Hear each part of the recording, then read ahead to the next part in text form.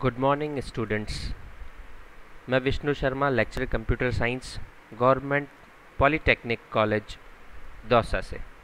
आज के E lecture oblique E practical में हम basics of applet programming applet life cycle और फ़र्स्ट एप्लेट प्रोग्राम के बारे में सीखेंगे। हम एप्लेट क्या होते हैं, कहाँ काम में आते हैं, क्यों काम में लेते हैं और एप्लेट का लाइफ साइकिल क्या होता है और एक छोटा सा एक एप्लेट का प्रोग्राम हम देखेंगे कि किस तरीके से बनाया जाता है और उसका आउटपुट हम किस तरीके से लेते हैं। मतलब एप्लेट एक प्रोग्राम रन करने के बाद अपना आउटपुट का डिस्प्ले किस तरीके से करता है। ये जो ई लेक्चर है, ये board of technical education Rajasthan के कंप्यूटर साइंस के सब्जेक्ट सी एस तीन सौ एक जावा टूल से रिलेटेड है। तो हम चालू करते हैं। एप्लेट एप्लेट क्या होता है? Applets are Java programs which developed for run in web browsers an applet is a Java program एक जावा प्रोग्राम होता है applet that runs in web browser जो कि क्यों बनाया जाता है? वेब ब्राउज़र में रन करने के लिए बनाया जाता है। एन अच्छा देखिए बेसिकली होता क्या है कि एचटीएमएल फ़ाइल में एप्लेट एम्बेडेड होता है। और एप्लेट जो होता है, वो जावा इनेबल्ड होने पर ही काम करता है। और जब, जो आपकी ये एचटीएमएल फ़ाइल है, ये रन कहाँ होती है? वेब ब्राउज़र में।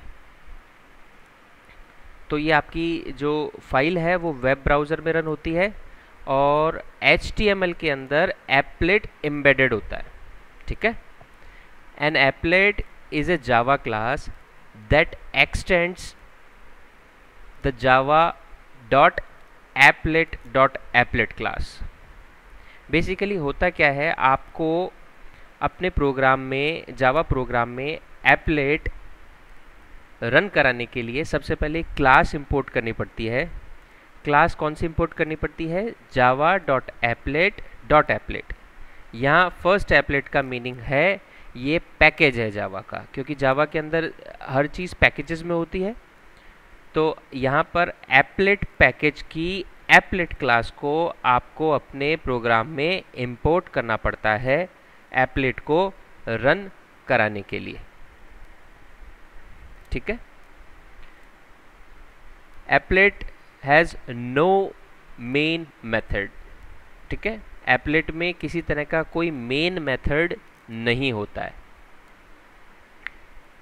Applets are design to embedded within an H T M L page ठीक है? ये डिज़ाइन किए जाते हैं एच टी एम एल के थ्रू और ये एम्बेडेड होते हैं किसमें एच पेज के अंदर। M Java virtual machine is required to view an applet देखिए, ये चीज़ वही है जावा एम्बेडेड होना बहुत ज़रूरी है आपके ब्राउज़र का एपलेट को रन कराने के लिए। अगर आपकी मशीन पर JVM नहीं है जावा वर्चुअल मशीन इंस्टॉल्ड नहीं है तो जावा एम्बेडेड ब्राउज़र नहीं हो सकता। और अगर JVM अगर आपके मशीन पर इंस्टॉल्ड नहीं है तो आप अपने एप्लेट वाले प्रोग्राम्स को अपने मशीन पर रन नहीं करवा सकते because J V M is required to view an applet ठीक है? Java virtual machine is required to view an applet applet has strict security rules that are enforced by the web browser ठीक है? Applet एप्लेट्स को बहुत strict security रखनी पड़ती है। Otherwise आपका प्रोग्राम रन नहीं होगा। यहाँ सिक्योरिटी किस तरह की होती है?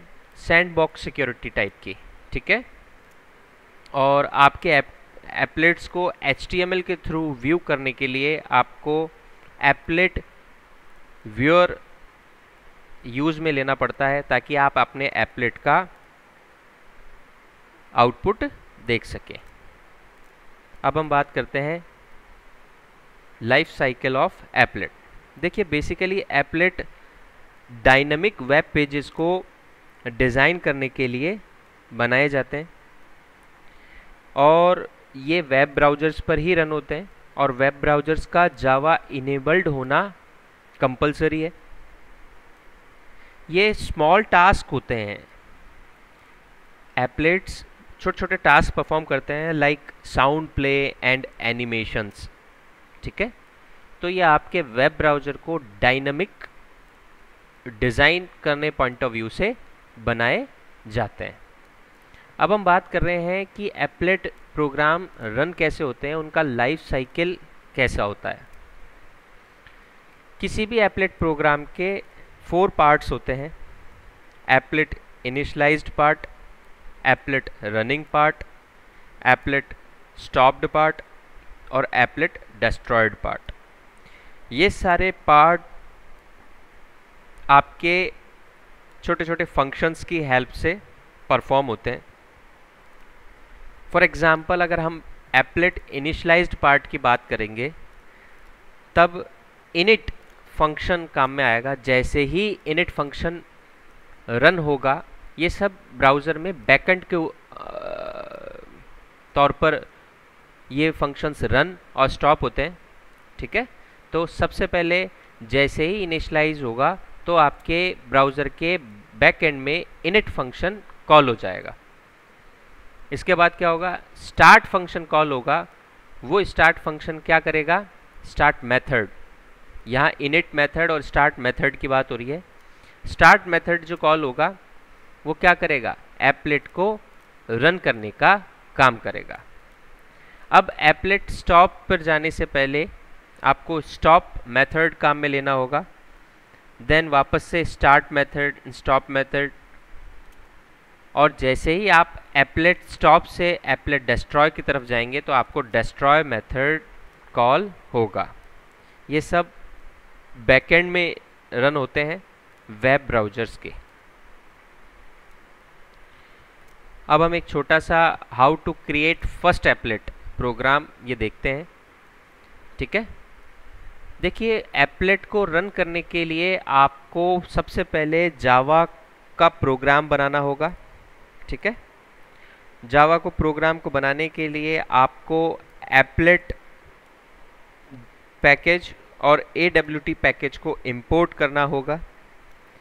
देन आप किसी एपलेट को डिस्प्ले करवाने के लिए, आप किसी तरह की सपोज़ कीजिए हम यहाँ पे हमारे फ़र्स्ट प्रोग्राम में एक इमेज को डिस्प्ले करवाना चाहते हैं, एक स्ट्रिंग को ड्रॉ करवाने के लिए तो हम इमेज जो हमारा क्लास है एप्लेट क्लास में से उसको क्या करेंगे?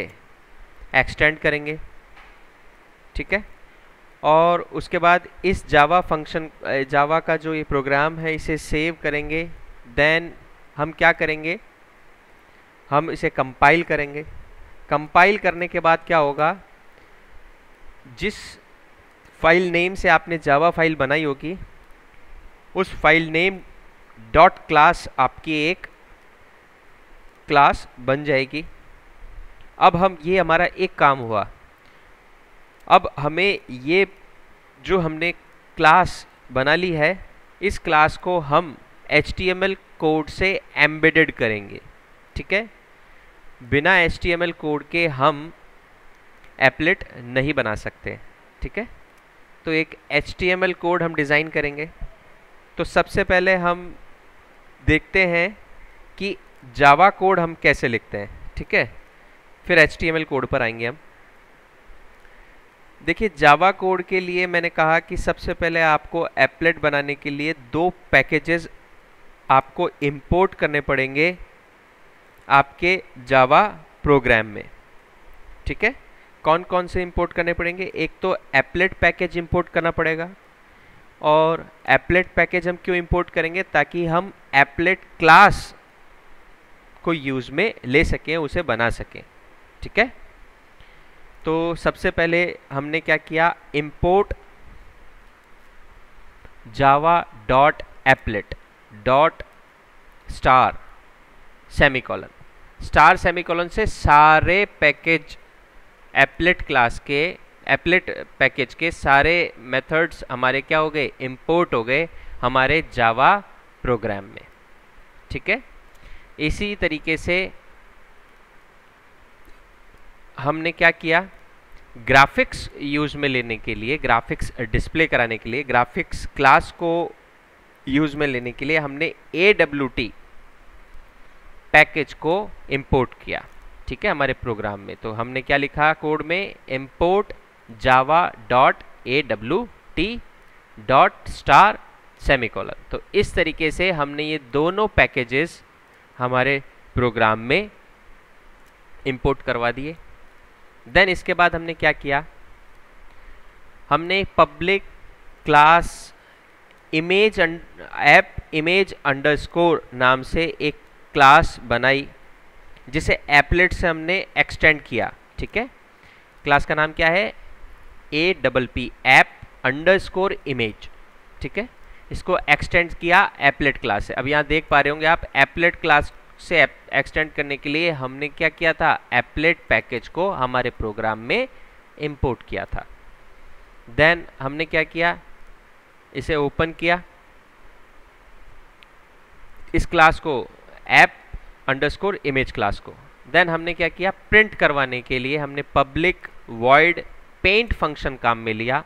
और ये पेंट फ़ंक्शन किसी भी टेक्स्ट को या हम डिस्प्ले करवाना चाहते हैं, तब हम कौन सा फ़ंक्शन काम में लेते हैं? पब्लिक वॉइड पेंट ठीक है?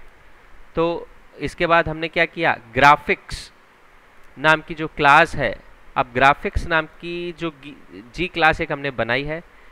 ये देखिए ग्राफिक्स क्लास हम क्यों बना पा रहे हैं? ताकि, क्यों बना पा रहे हैं? ताकि हमने एक applet A A W T package हमारे प्रोग्राम में हमने इंपोर्ट कर लिया। इसलिए हम ग्राफिक्स जी क्लास बना पा रहे हैं ठीक है?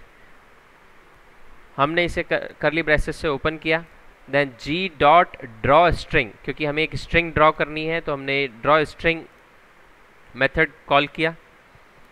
और इसके अंदर हमने डबल कोट्स में लिखा जो हमें प्रिंट करवाना था हमने लिखा सपोज़ कीजिए माई एपलेट ठीक है? हमें माई एपलेट हमें क्या कराना है? प्रिंट करवाना है। ये क्या है? स्ट्रिंग है ठीक है? अब हमने हंड्रेड कॉमा हंड्रेड, ये क्या दे दिए? Coordinates X and Y coordinates दे दिए, ताकि इन एक्स और वाई कोऑर्डिनेट्स के ऊपर हमारा माई एपलेट क्या हो जाए? डिस्प्ले हो जाए, ठीक है? तो माई एपलेट तो क्या हो गया? स्ट्रिंग और हंड्रेड हंड्रेड ये क्या हो गए? कोऑर्डिनेट्स ठीक है? हमने इसे कलिब्रेसिस से बंद कर दिया, और फिर मेन जावा की क्लास भी हमने बंद कर दी। मतलब हमने ऐप अंडरस्कोर इमेज वाली क्लास भी जो थी, वो भी बंद कर दी। अब हमने इसको सेव किया। किस नाम से सेव किया? App underscore image dot Java के नाम से। ठीक है? अब हमने इसे कंपाइल किया। Java C app underscore image dot Java से। जैसे ही हम कंपाइल करेंगे हमारे इस जावा प्रोग्राम को जावा कोड को तो ये जावा कोड आपको एक क्लास बना देगा। किस किस नाम से हमने ये जावा कोड बनाया था? ऐप अंडरस्कोर इमेज तो यानी app underscore image dot class आपकी जनरेट हो गई। ठीक है? इस क्लास को आप कहाँ काम मिलेंगे? आपके एचटीएमएल कोड में एपलेट टैग के अंदर काम मिलेंगे। बिना एपलेट टैग लिखे हुए आप एपलेट रन नहीं करवा सकते। ठीक है? तो देखिए आप देख पा रहे होंगे अपनी स्क्रीन के ऊपर। एक एचटीएमएल कोड हम लिख रहे हैं, जिसका नाम मैंने लिखा है ए डॉट एच ठीक है? अब इस ए डॉट एच को हमने क्या किया? सबसे पहले एच टी एम एल जब कोड लिखते हैं तो आप H T M L open करते हैं। एच टी एम एल लिखा फिर हमने टाइटल लिखा टाइटल में लिखा इमेज एग्ज़ाम्पल टाइटल ठीक है? फिर हमने applet code applet tag design किया। इसमें लिखा applet code is equals to अब वो क्लास दे दी जो क्लास हमें इंपोर्ट करनी है एपलेट के लिए। तो हमने पिछली क्लास हमारी क्या बनी थी? App underscore image dot class तो हमने उस क्लास को सीधे सीधे हमारे एपलेट के लिए क्या कर लिया? इम्पोर्ट कर लिया। देखिए double quote app underscore image dot class ठीक है? अब हमने वृद्ध दे दी और हाइट दे दी कितनी? वृद्ध और हाइट दे दी कितनी? 400 400 ठीक है? अब हमने एपलेट टैग को बंद किया। और एचटीएमएल टैग जो ओपन किया था, उसे भी क्या किया? बंद किया। ठीक है? अब हम क्या करेंगे? Open H file in web browser आप चाहें तो इसे डायरेक्टली आप अपने वेब ब्राउज़र पर रन करा सकते हैं। ये दो तरीके होते हैं। या फिर आप क्या करें? यूज़ एपलेट व्यूअर के थ्रू भी आप अपने इस एच कोड को रन कराएँगे तो आपका एपलेट क्या हो जाएगा? डिस्प्ले हो जाएगा। देखिए, यहाँ पर हमने एपलेट वन डॉट जावा नाम से एक कोड बनाया। वही दोनों आपने पैकेजेस इंपोर्ट किए, एपलेट और ए डब्ल्यू टी देन आपने एपलेट वन को एक्सटेंड किया, एक क्लास बनाई। एपलेट क्लास को यूज़ में लेते हुए। ठीक है? फिर आपने वही graphics G function paint print करवाने के लिए मेथड आपने यूज़ लिया। देन उसके बाद आपने हेलो वर्ल्ड लिखा हंड्रेड हंड्रेड कोऑर्डिनेट्स के लिए, ठीक है? इसे लिखने के बाद आपने क्या किया? आपने इसे कंपाइल किया। कंपाइल करने के बाद आपकी कौन सी क्लास बन गई? Applet one dot Java. ठीक है? तो आपने अब क्या किया? आपने एच कोड बनाया, पैरेलली। ठीक है? इस एच कोड में आपने जब एपलेट टैग बना रहे थे, तब आपने एपलेट वन डॉट क्लास जो थी आपकी एपलेट वन डॉट क्लास इसे यहाँ पर आपने इंपोर्ट कर दिया। ठीक है? और ये एच कोड आपने क्लोज कर दिया। ठीक है? अब आप क्या करेंगे? अब आप, अब आपने H T M L applet tag भी बना लिया। अब आप इस एपलेट को रन कराएँगे तो हम यहाँ पर एपलेट व्यूअर का यूज़ ले रहे हैं। एपलेट व्यूअर में आपने जो H T M L file बनाई थी, उस फ़ाइल के नेम से आप इसे कॉल करेंगे, यानी applet viewer A one dot H T M L ठीक है? जैसे ही आप इसे रन करेंगे तो आपका एपलेट क्या हो गया? शो हो गया। देखिए आपकी स्क्रीन पर आप देख पा रहे होंगे applet viewer applet one dot class ठीक है? और आपके क्या लिखा हुआ आ गया? हेलो वर्ल्ड तो इस तरीके से आपने अपना पहला एपलेट प्रोग्राम रन कराया, ठीक है? इस तरीके से आप अपने एप्लेट्स रन करवा सकते हैं। नेक्स्ट लेक्चर में हम आगे के कंटेंट को कवर करेंगे। Thank you